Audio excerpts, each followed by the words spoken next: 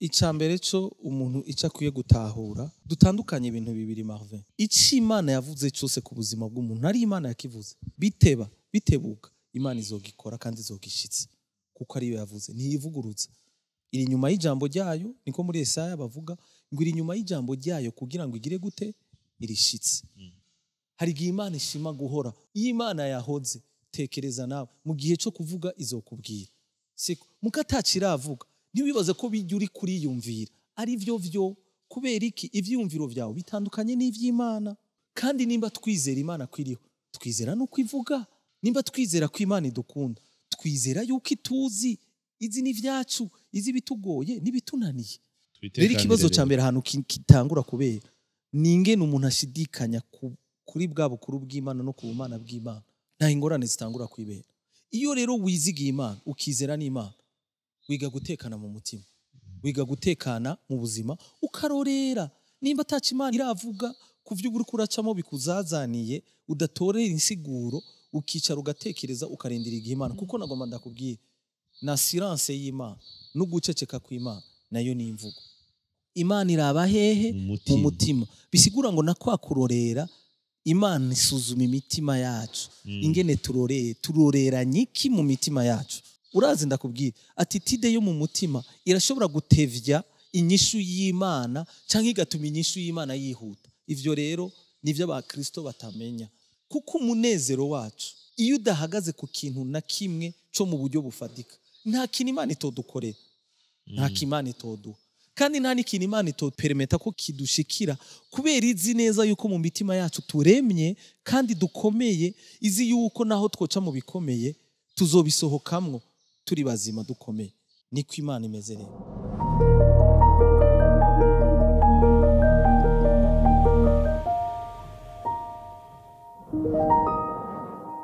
Shalom bakunzi b'ikiganiro ubutumwa bwiza kuri bose. Nizera ko mumeze neza aho muri mu mihana abaturaba ku mateleviziyo yabo mu matelefone abatwumviriza bari mu miduga yabo turabashimiye cyane ku kuntu mwama mutwereka urukundo vuba cyane. Uh, turashyiraho nimero ya telefone yo kugira ngo arico wifuza ari umukozi w'imana aba yaciye hano arico wifuza ko dushobora kuyagako bivanye uh, n'ibihe uri kuracamwo n'ico imana iriko irakuganiriza vuba cyane iyo nimero igiye kuja ahabona. Reka ndakubwire rero ngo uno munsi turi kumwe n'umuntu twaheruka kera pasteur Evan Sengiyumva karibu cyane murakoze cyane marvin yego mumeze neza.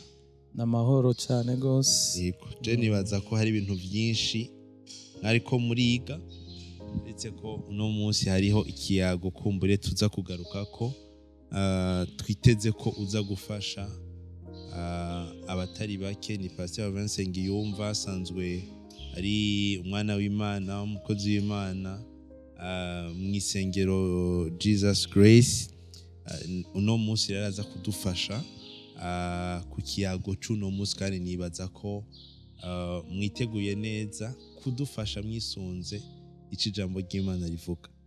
Ego. Mbo jewe ntacyo mfise nubafasha muga nibaza ko mwe muyera ashobora kubafasha byinshi cyane gusumba ibyo noba nibaza ko nzi kuko ubumenyi bwanje personnel nibaza ko ataco bwofasha umuntu. Mugabo ishyurirwa rivuye ku mana ritanzwe na mwe muyera rishobora gufasha benshi kandi rigakiza byinshi. Mm. yego. Nuko ikiyago tugira duhagarare ko kubikora twumviriza kubikora rurira pasteur Vincent Ngiyumva. Ah, ni ikiyago aho kumbura uno munsi tuza gufasha aba n'abandi ariko natwe twiyubaka canke twiyibutsa. Kuko ari byiza ko tuba hamwe tukarishanya. Ah, hariho umuntu ashobora kuba muri bino bihe ah, afise ikibazo kandi n'ikibazo benshi bashobora kuba bafise. Ah, imana twama twayibonye idukorera ibintu bitandukanye inyarukije itebeje twayisenze tutayisenze. Mugabo kenshi hari ukuntu twama tuyibona novuga ngo vyabaye nabi babanje kudutwenga babanje kutu byamaze gusa nabi.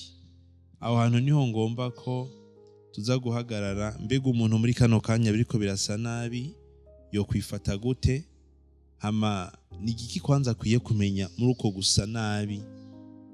Hama ubwa kabiri yo kwifata gute? Hanyuma turaza kurangiriza hamwe turabira hamwe kubera ikihoho imana na yo nyene banza kubireka ngo bimere gutyo. Nuko umuntu ariko araca muri ivyo bihe yumva umengo ah, kabaye eh, vyari kugenda neza iyo imana iza bitaramera gutya. Umuntu n'igiki ubwa mbere na mbere akwiye kumenya akwiye gutahura muri ivyo bihe. Vyamaze kubora byamaze kunuka gusa nabi. Murakoze. Um, mumbajije ikibazo ki- kitoroshe ariko reka dukoreshe uburorero bw'ibyo tubona mu ijambo ry'imana kuko vyashyizwe mu ijambo ry'imana kugira ngo bitubere akarorero tubone ko atavyo dufise twebwe twisangije twebwe ubw'iwacu ariko n'abandi. Bashobora kuba baraciye mu bikomeye wanashaka gusumba mu byo twebwe tuba two turacamo. Rero ndaguha akarorero kamwe kwanza ka mbere k'ubwoko bw'imana abanyisirayeli so um, urabona abantu imana yakunze ikabatora mu yandi mahanga yose ikavuga ngo uko mwari beza si uko mwarusha ubwinshi abandi ariko mwe narabatoye ngo mu bwoko bwanje uko niko gukora kw'imana rero kwa mbere. Imana ikora ivyo igomba ikabikora uko ishaka kandi ikabikorera mu gihe cyayo. Mhm.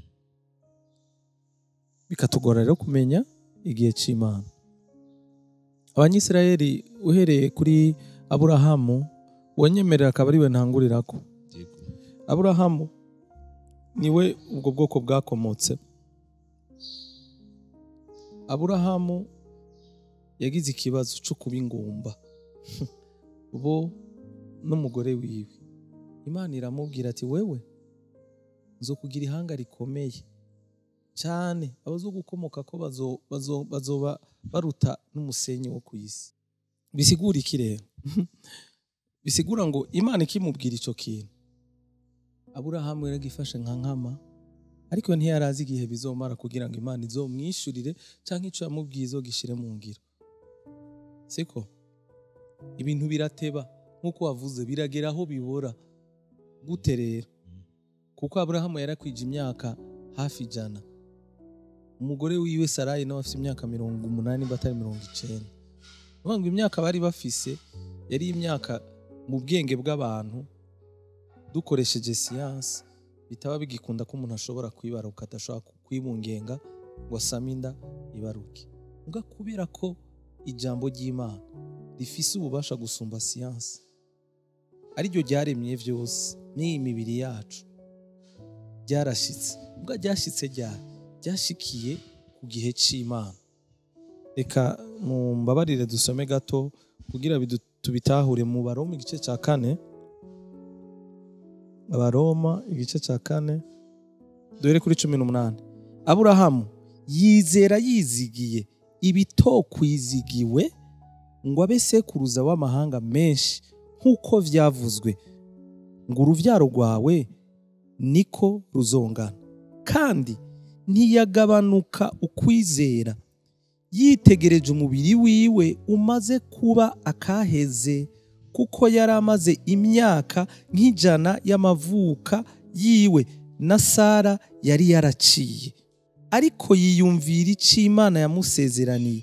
Ntiyakekeranishwa no kutizera ariko aremeshwa cyane no kwizera ahesha imana icubahiro amenya neza adakekeranya yuko icyo yasezeranye ishobora no kugikora.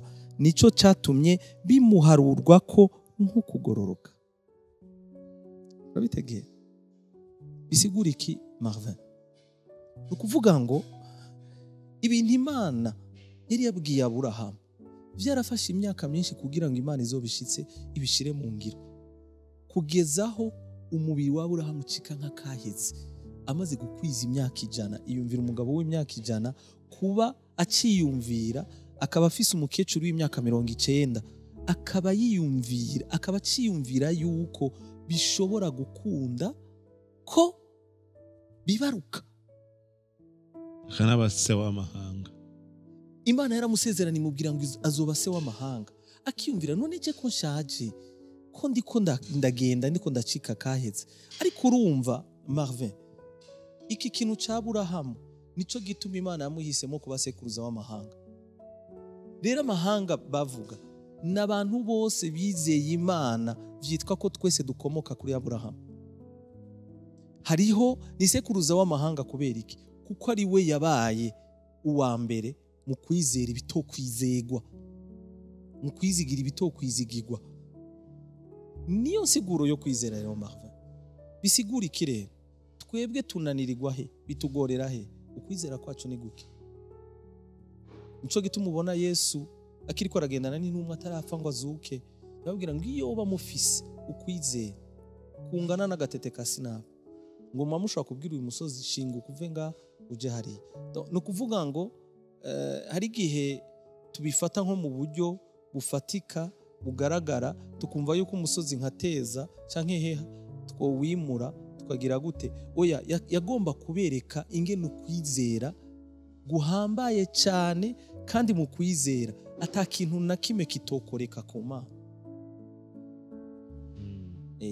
Hari yesu yarakunda gukoresha imvugo mu gifaransa bita figure de style imvugo ngereranyo Ku- kubera ko ngira eh, kugira ngo abantu bashobore gutahura uburemere n'ubu- n'ubunini bw'ivyo yaba ariko aravuga yaca agerageza gukoresha rangaje abantu bashobora imvugo cyangwa irangaje imvugo abantu bashobora gutahura basi buke buke Mm.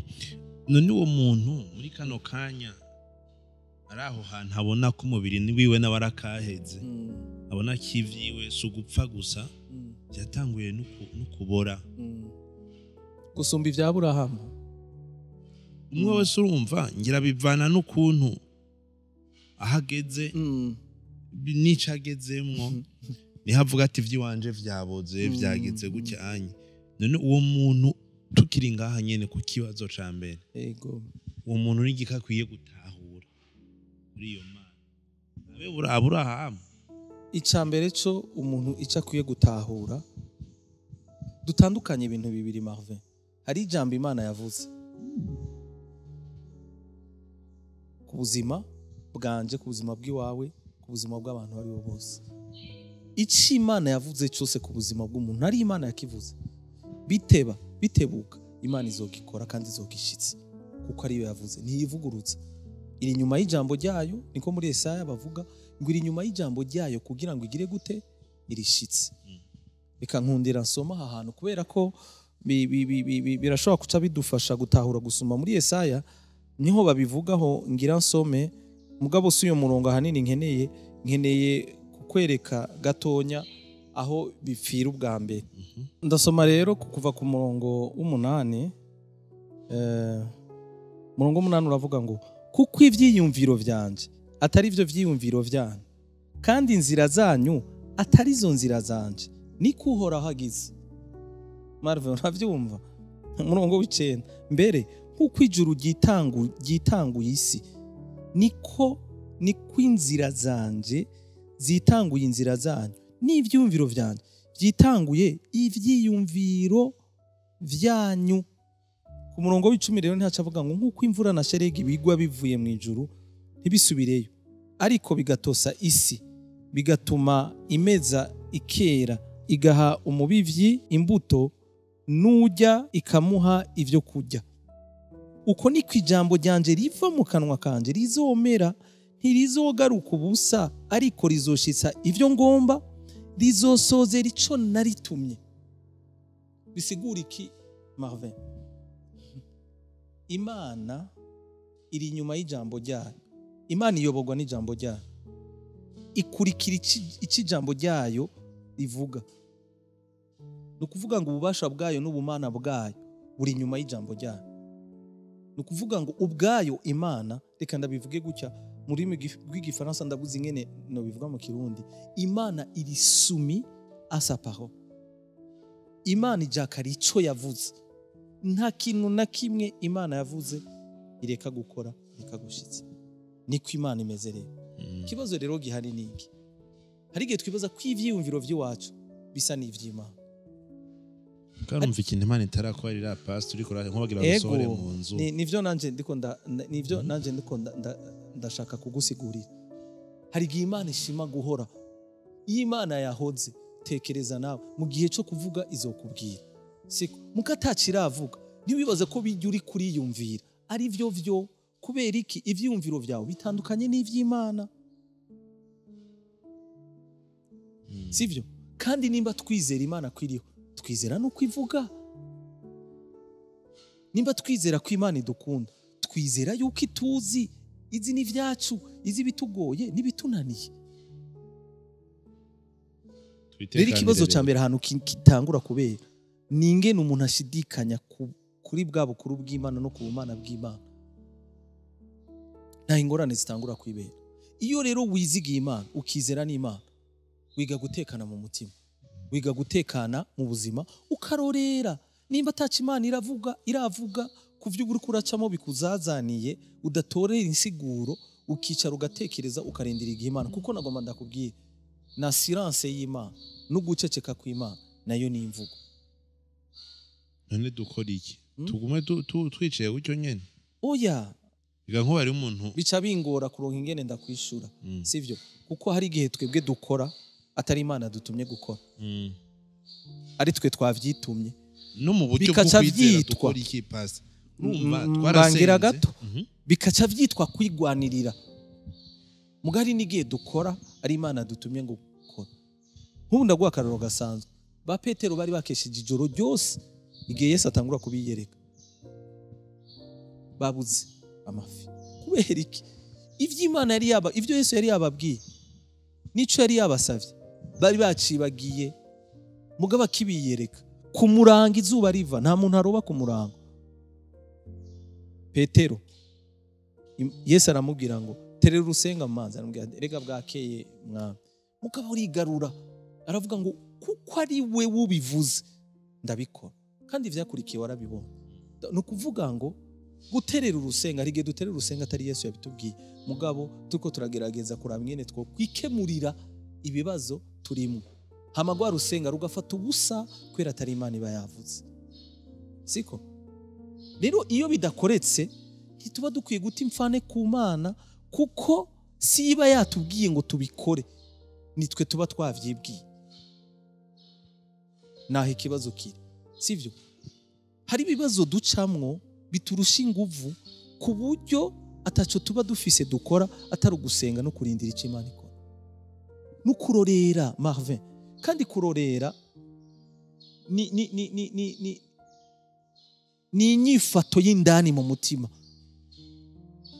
Ni ingene umutima wawe umeze cyane urashobora kurorera utavuga mugabo umutima wawe uri kuridodomba. Umutima wawe wuzuye amaganya. Pawulo yarabitowe yarandikiye abifilipi igice cya kane. Ngo ntimukiganyire sivyo? Ntihagire ikintu na kimwe mwiganyira. Ngo ariko ku byo mukeneye byose bimenyeshwe. Sivyo? Bimenyeshwe data wo mu ijuru. Mu gusenga no mu kwinginga ariko bifatanije no gukenguruka. Ahantu rero kuhakengurukira biriko biragira gutya. Ivya hariya bikwega ivyino bikwega. Ku kazi ku nzu Eh, minervare mm, ibi n'ibi bigira gucyanye mm, ugaca uvuga ngo ndagukengurukiye. Mm. ntihaba harimo uburyarya mu mutima? None ndakubazaga marve nimba hariyo abantu babifise ivyo byose mugabo badashimira imana babironse kuko byagenze gute? Sinzi urumva. Ndiko ndavuga kuri wa muntu nawe. Ni byo n'umukiriso asenga imana mugabo nyene biriko biramunyiganza aca ash- a- gushima burya nta hipokirizi irimwo ko imana ibona mu mutima niyo utovuga ntiyo yavuga ati Ah, ako nyene uhereje ko niko nashaka gufatirako imana iraba hehe? Mu mu mutima. bisigura ngo na kwa kurorera imana isuzuma imitima yacu. Mm. ingene turoreye turoreranye iki mu mitima yacu? Urazi ndakubwira atitide yo mu mutima irashobora gutevya inyishu y'imana cyangwa igatuma inyishu y'imana yihuta. Ivyo rero nivyo abakristo batamenya. Kuko umunezero wacu iyo udahagaze ku kintu na kimwe cyo mu buryo bufatika nta kintu imana itodukorera. Nta kintu imana itoduha kandi nta n'ikintu imana ito- itoperemeta ko kidu- kidushikira kubera izi neza yuko mu mitima yacu turemye kandi dukomeye izi yuko naho twoca mu bikomeye tuzobisohokamwo. Turi bazima dukomeye. Hama ikindi tumenye ikintu kimwe. Paul niyo yandikiye abikorino umega ni, ni, n'abikorino ba mbere igice c'icumi umurongo wa cumi na gatatu haravuga ngo urumva ngo imana ntizokunda ko tugeragezwa ibirusha ibyo dushobora kugira gute Kwihanganira. ijambo yongeye ko niryo abantu badakunda kuvuga. Ngo hamwe n'ibyo. Ngo izoduha inkomezi kugira ngo tubashe kugira gute kuvyihanganira apana kubisohokamo. Twe twihuta gusohoka mbwa ntitumenye igituma tubirimo reka ndakubwira ikintu kimwe marwe kugira ngo ntuzuhushe intumbero y'imana ku buzima bw'iwawe. Mu gihe ubona ibintu bisuriranye n'ibintu bi- eh, bizitanye n'ibintu byononekaye n'ibintu biriko birapfa harura ibintu bibiri. Sibyo? Mhm. hari iby'imana yica cyangwa ireka ko bipfa kuko iba ifise ibindi igomba kubisubiriza bifise akamaro n'agaciro gusumba ivyo biriko birapfa. Ico ni icya mbere. Hari ikindi kigira kabiri. Subiramo gatondo. Ndabisubiramo. Mhm. hari ibintu imana yemera ko bipfa. Sibyo? Kubera ko iba ifise ibindi by'agaciro kandi byiza ku buzima bwacu bidufitiye akamaro gusumba ibyo tuba dufise. Ikemera ko bipfa. Mm. ikemera ko tubitakaza. Kubera hari ibindi duteguriye. Hariho n'ibindi navyo. Umugwanizi abona umugambi w'imana ku buzima bwawe akagwanya akawugwanya. Kubera iki? Yesu yaravuze ngo igisuma. Ntikizanwa n'ikindi. Ni ukwica ni ukwiba no gutikiza hariyo situwasiyo umuntu ashobora gucamwo hariho ibitero bishobora kuza ku buzima bw'umuntu bikeneye kwica ukwizera kwawe bikeneye kukwiba amahoro n'umunezero byo mu mutima uriko uravyumva? Bikeneye no kugira gute no kudeturiza umugambi w'imana ku buzima bwawe. Rero twebwe dusabwa gukora ikirere naho rero bikunda kutunanirira twe dusabwa gukora iki? Dusabwa kugumana ya titide yo mu mutima y'amahoro y'umunezero yo gutekana erega marvin reka ndakubwire. Iyo iyo nyifato yo mu mutima niyo iranga uburyo twizigira imana n'uburyo twizera imana n'uburyo twemera ubukuru bwayo ku buzima bwacu. Ntushobora kuvuga ko imana uyizera uyemera n'abadayimoni barayemera. Siko yakobo yavuze? Ngo kandi bo baranagahinda agashyitsi imana yacu tugomba kuyemera tugomba kuyizigira mu bikomeye no mu byoroshe aburahamu ngo yizigiye ibitokwizigirwa yizeye ibintu bitokwizegwa hama imana imuravye iraba atitide yiwe yo mu mutima iraba ingene yifashe iraba ingene yavyitwayemwo ngo ibimuharura ko nko ico gikorwa cyo mu mutima cyatumye imana imuharura ko nko kugororoka kandi ntimana ntiyakimuharuwe ko nko kugororoka gusa. N'ivyo yamusezeraniye yarabikoze. Yarabishikije. Ari- ariko ngaho mbere turi ko turarangiza mugabo nca numva umengo ndagize ubwoba cane. Mm. kuko simpaka ngo umuntu ate wakuba. Ahungabane abuze amahoro abandi agira iki Mm. urashobora no kuba wicecekeye mugabo mu mutima hariko haravuza induru ego Uh, none ngaho naho si si si imana iravye irabona kuri kuravuza induru mu mutima naho utari kuravuga ku munwa ico naco ni kibi mbega iyo umuntu ari muri ivyo bihe nyene akavuga ati mana Mm. ndababaye vrema Mm. Ndababaye ndababaye kubera iki ibintu wobikora gutya? Mm. ni ugutuka imana ni ukudashima mu gihe ubaye sense ukavuga ngo mana ndababaye kubera iki wabiretse? Oya si ugutuka imana ariko no kwidodomba. Ibyo bintu ni- nibaza ko bitandukanye. Bw'imana ngo ndababaye. None uyu mubabaro wawe wibaza ko musangiye n'imana? Uko ni ukwidodomba reka ndakubwira urazi kimwe mu bintu byatumye abanyisirayeli bizunguruka k'igihe kirekire uhereye mu gihugu cy'egiputa no mu bugaragu. Kwari ukwidodomba uriko urabyumva ni cyo gituma. Mu gishingo cyo kwidodoma duhamagarirwa gusenga duhamagarirwa gushima. Urazi ko hariyo abantu basenga amasengesho yo kwidodoma? Nayo nyine kubera iki imana? Kubera iki jewe? Kubera ikibi. Aho uba waneshejwe iyo uri mu bintu bikuzazaniye udafitiye inyishu udafitiye n'insobanuro uvuga ati imana ibi bintu kubera iki biri ko birancako ndakeneye kumenya icyo ugomba kunyigisha. Atwavereye ibi bintu. Hanyuma inyishu- utayironse ubwo tekana. Ntuzopfa marvin. Imana ntizokunda yuko ivyo bibazo umuntu acamo biba ari byinshi bizogutwara ukagera aho upfa. Ariyo ya permese kubicamo Ntizo- ntizogukundira ko bikwica. Rero twige kwizigira imana twige kwizera imana twige kumenya kwihangana kuko hari n'igihe imana ibireka ivyo bintu tukabicamo tukabibamo kugira ngo idevelope canke ikomeze ukwihangana. Ukwihangana ni kimwe mu vyamwa tuzokwambarira igitsibo kuri wa munsi w'umwami wacu yesu kirisito numva umengo mu kurangiza ah, mu isengesho rigufi wosengera uyo muntu ari muri ivyo bihe kugira ngo ah, asubizwemo inkomezi eh, nyuma ya, kino kiyago nyuma ya kino kiganiro udufashe isengesho rigufi nk'usengera umuntu wese ari muri ivyo bihe aho kandi ariko arakurikira kino kiganiro. Marvin mbere y'uko nsenga reka mbanze ndamubwire uyu muntu uwo ari we wese aba ariko baradukurikirana. Mm.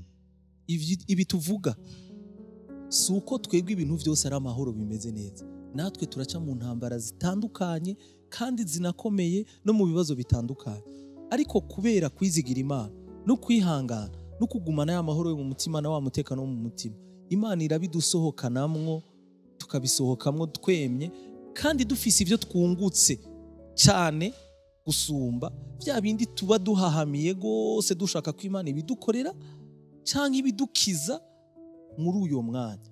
Ni ukuri wowe uri kuranyumviriza jewe ndi mu ntambara umuntu wese ari mu ntambara umuntu wese afise ibibazo ariko aracamwo vyiwe. Ariko ingene uvyitwaramwo ubukristo bwa- urugezo rw'ubukristo bwawe aho rugera naho rugarukira.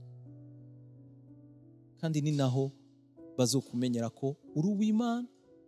Vy'ukuri canke ukiri kurishakisha ukiri kurirondeza. Rero wowe ukiri kurirondeza ni we ngomba gusengera. Mugabo ababirimwo batanguye kubikomereramwo nagomba kubakomeza. Nimubandanye inyishu iri imbere. Kandi nagomba kuremesha abantu ko baratwumviriza ibibazo muri ko muracamo n'ingorane muri ko muracamo. Bizokwamuka kumbura ivyo muri ko muracamo bizohera haza ibindi. Rero twige kwemera ko imana igira gute? Idutoza itwantrena kugira ngo n'ibikomeye biri imbere. Nitwabicamo. Ntibize bituneshe. Reka rero dusenge dusengane n'umuntu wese ababaye ijambo ry'imana riravuga ngo ubabaye nasenge mugabo nibaza yuko iri sengesho. Riba ri- ri- ri- kristo yesu namwe mu yera arikoreremwo kugira ngo rimare umubabaro n'agahinda. Abantu ba- bamaranye igihe kirekire kubera ibibazo bariko baracamwo badafitiye inyishu. Kandi igitera ako gahinda n'uyo mubabaro ni kubera bavyiyumvira cyane kandi atanyishu babifitiye. Ni mu biture mu bihereza imana izobibishura izobishura mu gihe cyayo. Umwami yesu turagushimiye kuko uri imana igira neza kandi uri imana y'ubuntu. Ndasengeye abantu bazokumviriza kino kiganiro kino kiyago. Umwami yesu kirisito uzuhembura imitima yabo natwebwe turi uko turavuga n'abo turi kumwe ekipe yose turi kumwe kugira ngo aya majwi n'aya masanamu ashike kure twese hamwe tugirire neza.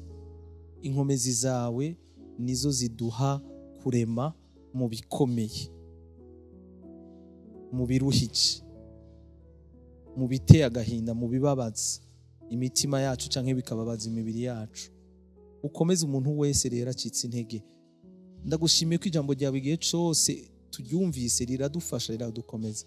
Ijambo ryawe riravuga muri Yesaya ngo abizigiye uhoraho ngo bameze nk'inkukuma ngo bariruka barirukanga ntibaruha ngo mbere n'abadendebukiwe n'abacitse intege ngo ibasubizamo inkomezi.